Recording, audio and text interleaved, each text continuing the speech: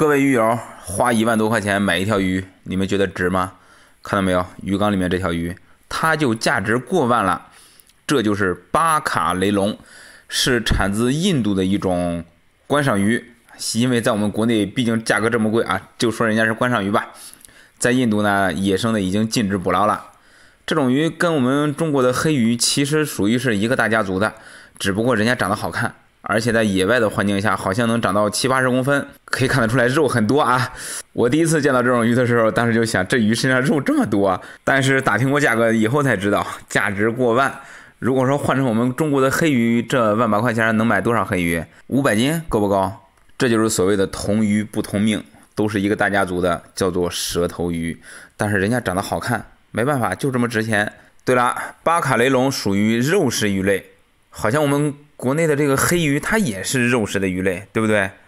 要论这个凶猛性，黑鱼绝对干得过巴卡，但是没有人敢这样做实验，太浪费钱了。如果说你也喜欢养这种比较凶猛的观赏鱼，私房钱又不够多的，可以选择这个眼镜蛇雷龙，还有就是我们国内的一种雷龙，叫做红月雷龙，在广州那边都是用来煲汤吃的，很便宜，但是发色以后身体是红色的。体表还有很多那种亮点，到菜市场十几块钱就弄一条。